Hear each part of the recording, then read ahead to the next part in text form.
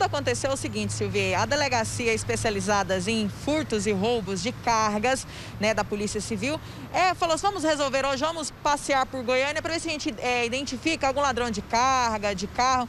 Só que aí no meio do caminho, a polícia viu um carro branco, né, um carro pequeno, e percebeu que em determinada rua um homem entrou no carro, ficou um minutinho, aí esse homem sai com alguma coisa em mãos.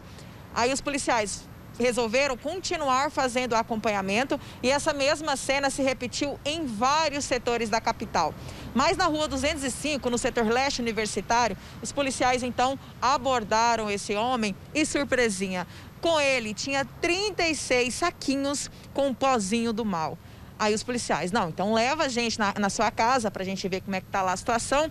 E chegando lá na Vila Moraes, onde ele morava, onde ele mora, né? Tá preso, mas a casa ainda é dele. O que que acontece? Encontraram aí duas balanças de precisão, Silvier, também vários envelopes, né? É, para poder colocar mais drogas, que são esses aí que a gente está vendo. Quatro sacos contendo é, cocaína, né? E junto, somando tudo, dá 1,6 kg 600 gramas. Né? Olha só. O quê? Não acredito. O veículo e as drogas todos foram levados aí, apreendidos para a delegacia e o carinha também, né, foi preso.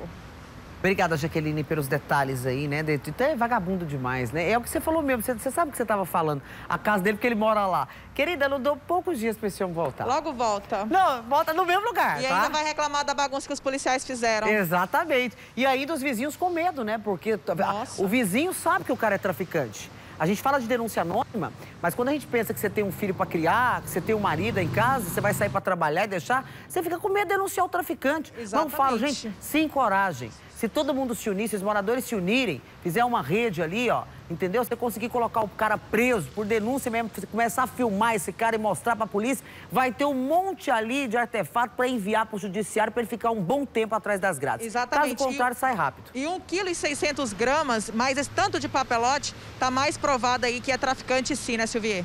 É, minha filha, cocaína é cara, né, meu amor? Um quilo é caríssimo. Obrigada, Jaque, pelas informações.